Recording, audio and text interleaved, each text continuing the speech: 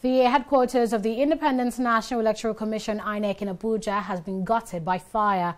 The Election and Party Monitoring Department was completely burnt by the inferno that started at around 11 a.m.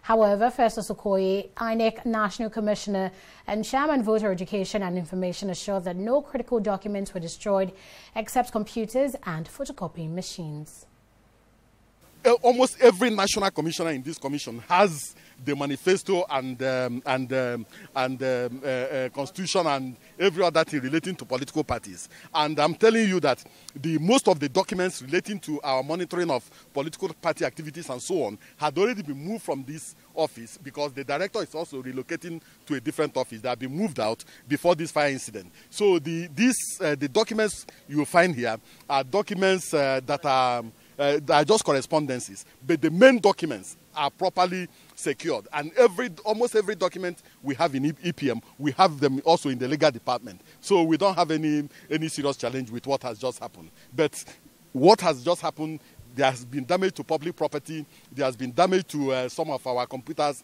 uh, some of our photocopiers, and some of our critical uh, uh, uh instruments uh, we use in working. But in terms of losing documents and so on and so forth, there's no, there's no cause for alarm. The level of damage is so minimal. It's so small. Yes, the level of damage is so small, but by the time you take it at the roof level, you'll be thinking that it's so grievous. No, because of the PVC used for the ceiling. The level of damage is so small. Due to the action of the firemen here, yes, they were able to respond promptly on time to make sure they save the, they save the situation. If not, the whole of that house will have been razed down. The investigation is still on because snapshots have been taken where clear and critical analysis will be done.